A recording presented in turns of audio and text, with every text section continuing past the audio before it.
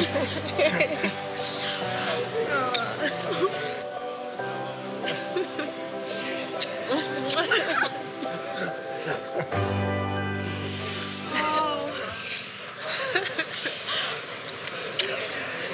you.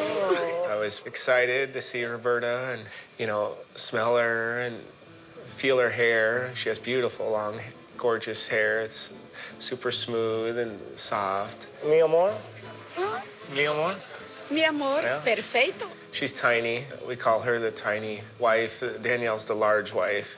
So it's nice and comforting for her to rest her head on my shoulder. And I'm so thankful that we're finally getting to see each other. Yum, yum. Any kind of intimacy with Danielle and Roberta, but you know, we feel that um, the special closeness of sisterhood is almost as intimate as a man and a woman. It's neat that they have that type of relationship. So we got two rooms, love. And sister says I get you all to myself the whole time. No, no.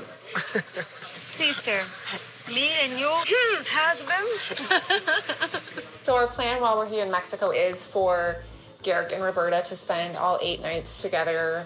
I am sleeping in my own room, um, right next to Garrick and Roberta on the other side. I want to be fair to Garrick and Roberta and their time together because I'm gonna have time with them at home, and we are coming into a plural relationship now. But seeing someone kiss your husband, I don't see it every day right now. Like Garrick texts Roberta, but you know, I don't see him kissing her and embracing her. So it's hard. There's definitely worries of getting caught up in jealousy because those feelings do come.